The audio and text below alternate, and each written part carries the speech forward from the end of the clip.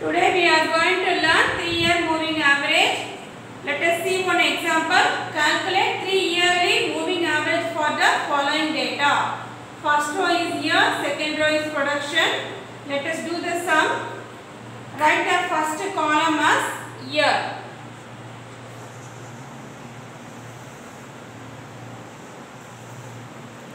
First year 2001, 2002, 2003, 2004, 2005, 2006, 2007, 2008.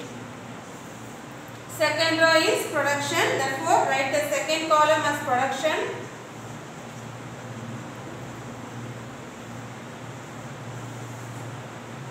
First number 40, 45, 40, 42, 46, 52, 56, 61. Third column is 3 yearly moving total.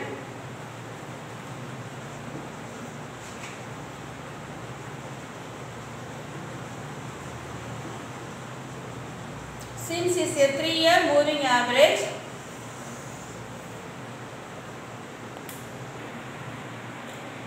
it's a 3 year moving average, we are going to add the first three numbers 40, 45, 42. The middle number of 40, 45, 40 is 45. Therefore, put an arrow mark. Add the three number 40, 45, 40. That is 125. Next, leaving the first leaving the first row, add the remaining three numbers 45, 40, 42. That is 127. Next, leaving the first two numbers, add the next three numbers 40, 42, 46. That is 128. Next, leaving the first three numbers, adding the next three that is 40, 42, 46. Here we are going to add 42, 46, 52 that is 140.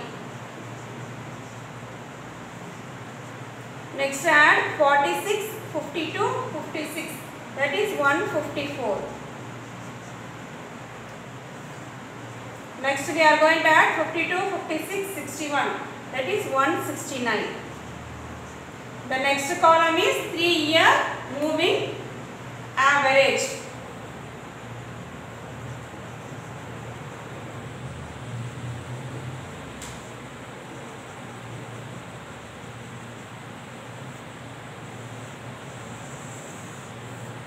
The next column is 3 year moving average.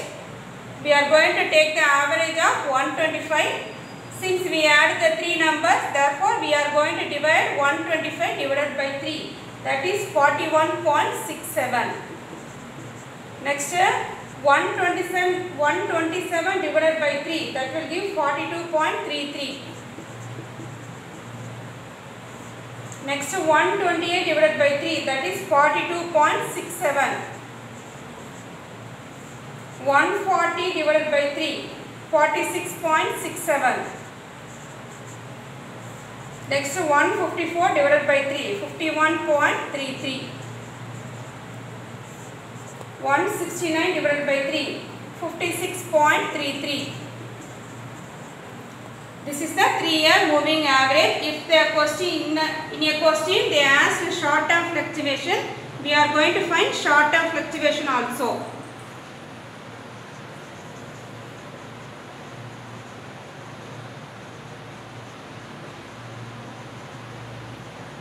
short term fluctuation formula is y minus yt.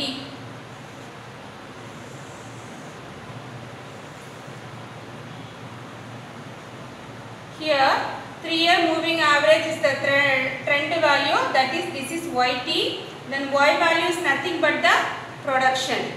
We are going to subtract y and yt that is 45 is my y yt is 41.67.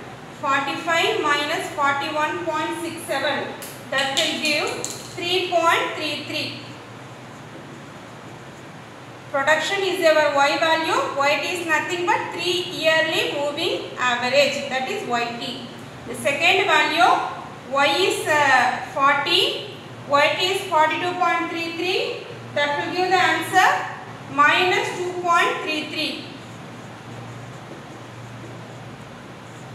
next one 42 minus 42.67 that is minus 0.67 next one 46 minus 46.67 that will give minus 0.67 the next one is 52 minus 51.33 0.67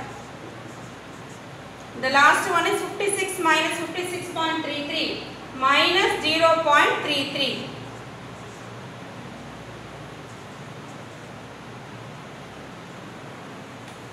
The last column is short term fluctuation.